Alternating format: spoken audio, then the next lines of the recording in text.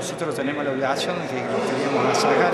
en su día, y a su vez eh, nosotros tenemos ganas de juntarlos eh, para hacer alguna picadita sencilla y simple, pero y también agradecerle a la gente que ha colaborado con nosotros en esta causa, que ustedes son los principales en este tema. ¿Cómo está la causa de ustedes en este momento? Mira, la causa en este momento, eh, me acaban de informar en esta semana, hemos tenido muy buenas novedades, en la cual el día miércoles fuimos recibidos por el señor intendente de nuestra localidad, en la cual nos dijo que los quedáramos tranquilos, que en, en semanas, en la semana siguiente tenemos la ordenanza ya lista a nivel local que eso es muy importante para nosotros. ¿Hay reuniones dentro de una semana más o menos eh, a nivel nacional? Sí, mira, el día 15, el sábado 15 a 11 horas,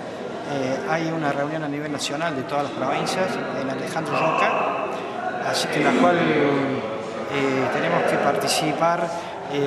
porque vienen todas las provincias de todo el país y va, a haber una cosa muy importante que vamos, se, se ha integrado a nuestra causa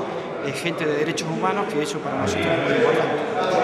Eh, bueno, siguen luchando, dándose, porque bueno, como decías ahora, General Roca, esta importante reunión, ¿hay alguna información desde el gobierno nacional o del propio Congreso que puedan ser recibidos o no? Sí, mira, creo que esta, esta reunión es previa a la semana siguiente, o sea, tenemos información que más o menos dentro de la semana del 20 en adelante de este mes eh, vamos a ser recibidos en el Congreso en Buenos Aires. Si bien, eh, bueno, ustedes ya es un grupo que se, ha conformado de que siguen luchando por esta causa, eh, ¿hay posibilidad que otros también, digamos, que pertenezca a la misma causa de ustedes pueda acercarse?